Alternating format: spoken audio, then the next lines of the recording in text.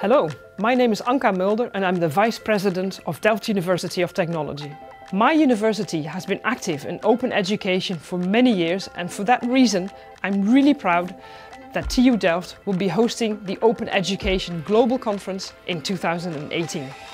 So please join us and share your ideas about transforming education through open approaches. So what is your best idea on open education or perhaps what are the challenges you are facing and you want to solve. The conference will take place in the beautiful and historic city of Delft. But you may also want to visit other cities in the Netherlands, such as Amsterdam or Rotterdam or The Hague. And these are all very close by. So be inspired, share your ideas, and I look forward to seeing you on April 24th, 2018 in Delft.